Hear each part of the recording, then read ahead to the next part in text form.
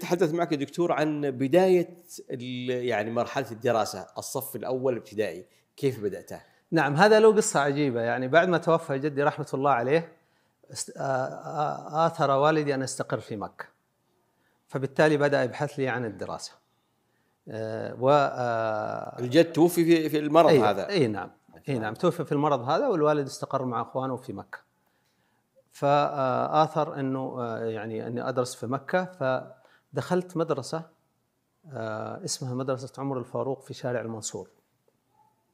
وكان لي قصة عجيبة فيها إنه آه، مع القراءة طورت مستواي إلى المرحلة الد- آه، يعني سادس ابتدائي.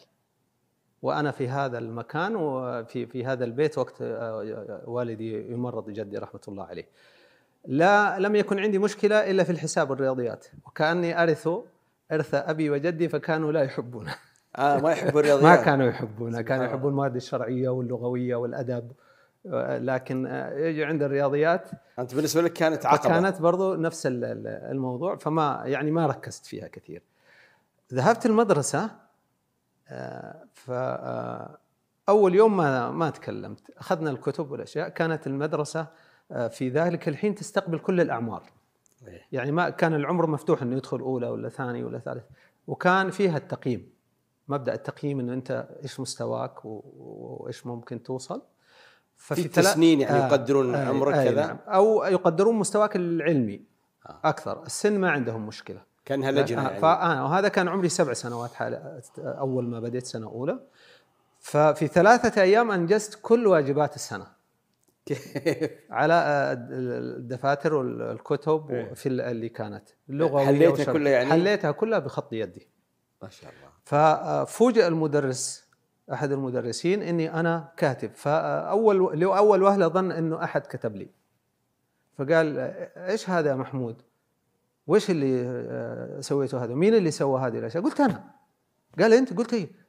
قالوا فين تعلمت؟ قلت ابي يعلمني قال ما صدق. قلت طلعني السبورة. قال طيب أطلع السبورة. والله أكتب خط يعطيني إملاء يعطيني الحمد لله. يعني واثق من نفسي مستوى جيد. جهد أبي أثمر. فأخذني من يدي وذهب للمدير. قال هذا ما يصلح في سنه اولى خرب علينا حقون والله هذا. عندنا لابد انك تشوفوا له حل.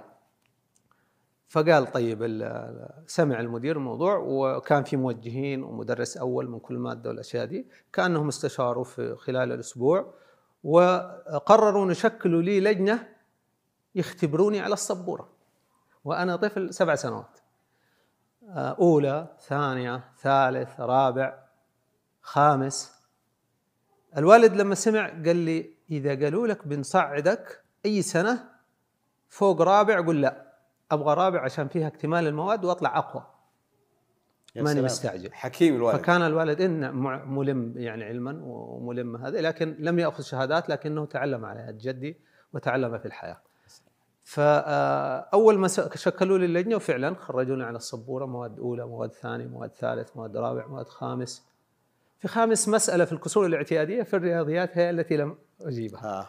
فأحد المدرسين قال هذا يصلح خامس ولا سادس فاستأذنت قلت لهم والدي يطلب أن أكون في الرابع لأن فيها اكتمال المواد أشمل مواد أيوه أشمل وأطلع أقوى كلهم أمضوا هذه ال- معنى تجاوزت أولى. تجاوز- الصف الثاني نعم. والثالث. والثالث. وفي رابع يوم في المد... يعني بعد أسبوع أو أسبوعين تقريبا من المدرسة كنت في سنة رابع وحدثت لي عدة قصص فيها لأنه سني صغير وأجد من سنهم أكبر وكان أحد المدرسين آه، يعني آه، رحمه الله وكان متوفيا كذا أنه أحيانا يأخذني بجسمي الصغير وبسني لسادس وسادس فيه أشناب.